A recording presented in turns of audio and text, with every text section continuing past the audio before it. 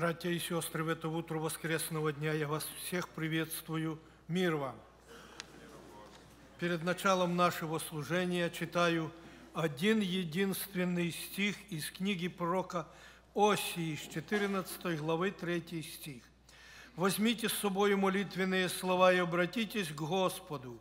Говорите Ему, отними всякое беззаконие и прими во благо, и мы принесем жертву уст наших». Братья и сестры, и мы сегодня пришли для того, чтобы принести жертву уст наших.